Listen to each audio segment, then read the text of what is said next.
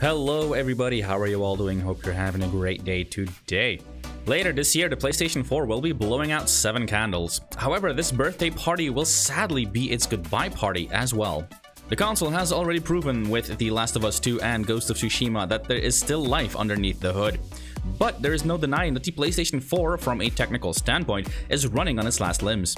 Luckily, the next generation is already eager to take over. After Sony took a running start with the PlayStation 4 Pro, they now promise an even greater technical leap forward with their PlayStation 5, and not only in terms of graphics, but in audio and feel as well. Let's take a technical preview at the PlayStation 5. After Sony's minimalistic jet black design of the PlayStation 4, the PlayStation 5 promises to be the eye-catcher in the room. The PlayStation 5 comes with a futuristic curved design that can be placed both standing and on its side. But of course, the design isn't everything, it's what's inside all that plastic that counts. When we take a look underneath the hood, the specifications of the PlayStation 5 are nothing short of impressive.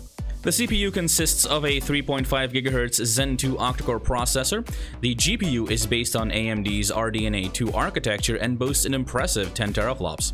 All of that combined with 16 GB of GDDR6 RAM. Looks impressive, right? Although, on paper, it does look like the PlayStation 5 will be weaker than the 12 teraflops Xbox Series X. However, it is not fair to judge the PlayStation 5 solely on the amount of teraflops involved we need to take a step back and look at the bigger picture. And the bigger picture tells us that it is capable of a lot more than the 10 teraflops would suggest. That's because Sony worked very closely with AMD to develop technology scaled for the PlayStation 5. Sony just didn't take existing RDNA 2 chipsets. No, no, no. AMD developed new chips that perfectly offered what Sony was looking for. All this computing power needs powerful cooling. Some of you might have noticed the fans going into overdrive while playing a graphically intensive game on their PlayStation 4, and sources say that the Xbox Series X is suffering from heating issues.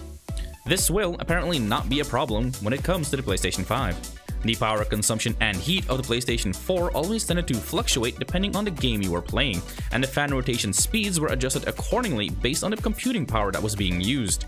This will no longer be the case in the PlayStation 5 as it now draws a constant power consumption, meaning that the cooling system is predetermined. Console temperature nor fan speed will fluctuate. All the GPUs and teraflops aside, the most important innovation by far is the inclusion of an SSD drive. This flash-based storage space technology is a lot faster than your traditional hard drives and no longer struggles with fragmentation issues. Because the PlayStation 5 can find data on a whim because of the SSD, means that theoretically load screens are also a thing of the past. The SSD also gets a generous capacity of 825 gigabytes, but do know that the PlayStation 5's operating system will need a part of that space. If that space ever becomes full, don't worry, you can always expand it with more SSDs, although not every SSD manufacturer will be supported. Consult your local retailer. All that computing power will give us real-time ray tracing technology and allow us to play our favorite games in 8K resolution. But for some of us, that's not enough. For some of us out there, including yours truly, are audiophiles. What does the PlayStation 5 have to offer us? Well, the PlayStation 5 offers us their own 3D audio technology. Thanks to a customized audio engine, the sound in your headphones or even just your typical stereo speakers will make you feel like the sound is coming from everywhere.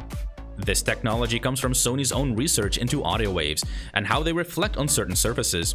By changing frequencies of certain sounds, it creates the impression that the sound is coming from a different direction. However, not everybody's ears are the same and these frequency adjustments will not have the same effect on everybody. Because of this knowledge, Sony will have 5 of the most common presets in place that you can choose from to adjust the frequency that best suits you. Enough about the console itself, let's take a look at the controller now. With every new generation, Sony added something new to their DualShock controller. For the PlayStation 5, however, Sony is saying goodbye to the DualShock name after more than 20 years. The controller has been rebranded to the DualSense, and of course this is a marketing ploy, it also points to the major changes Sony is making. The design is clearly still based on the old DualShock controller, I mean the thumbsticks are still positioned next to each other in the middle of the controller, but the shape of the DualSense has been slightly altered. The controller looks bigger and the hand grips are at a slightly different angle. Because of the angle change, the controller should now fit more easily in your hands. The touchpad has returned, albeit larger, and the light bar has been made more subtle. The share button has been rebranded to the create button, which is not a coincidence given that next to screenshots and clips, Sony also promises a new way of sharing your in-game moments. And just like the console itself, the controller boasts a futuristic look with a black and white color scheme. For the more impressive innovations, we need to take a look underneath the hood of the controller as well. The age-old rumble mechanic has been replaced with haptic feedback, a technology you might already be familiar with if you own a Switch. If you don't, see it like this. Haptic feedback is basically a three-dimensional form of rumble that allows for more subtle and varied forms of rumbling. The other big innovation comes in the form of adaptive triggers. Based on a specific action the game is asking for, it might become harder or easier to pull the trigger. If you don't quite understand what I mean, let me put it this way. The effort required to string a bow will now be felt in your triggers. Next to the technical innovations, the DualSense will also have a microphone built inside the controller next to the built-in speakers. This means you no longer need to buy a microphone in order to talk to people, although Sony still suggests a good headset for prolonged gaming sessions. Now, all the specifications aside, why is it that Sony is launching two consoles? A standard version, which is $500, and a digital version that is $400, or your regional equivalent. But what's the difference? Well, the standard $500 version comes with an Ultra HD Blu-ray drive. The $400 all-digital version is, well, digital only, meaning it does not have a Blu-ray drive.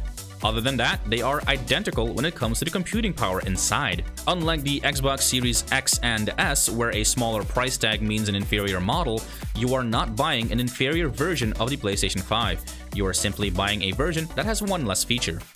With this discless version, Sony recognizes the people who would rather buy their games digitally, and why have them pay $100 extra for a feature they'll probably never even use? And the announcement of an all-digital edition didn't come as a surprise. Sony experimented with something similar back in 2004, their PSP Go, although it wasn't a huge success. It was quite the contrary actually. But there is one thing that is going to happen whether we like it or not. The digital era for video games is right at our doorstep. This was a technical preview into the PlayStation 5 and as we're wrapping up, I would like to thank you so much for watching. And if you want to see more of this type of content or gaming news reviews and release roundups, please leave a like and subscribe along with the notification bell so that you never miss another upload. And I'll see you when I see you. That's awesome.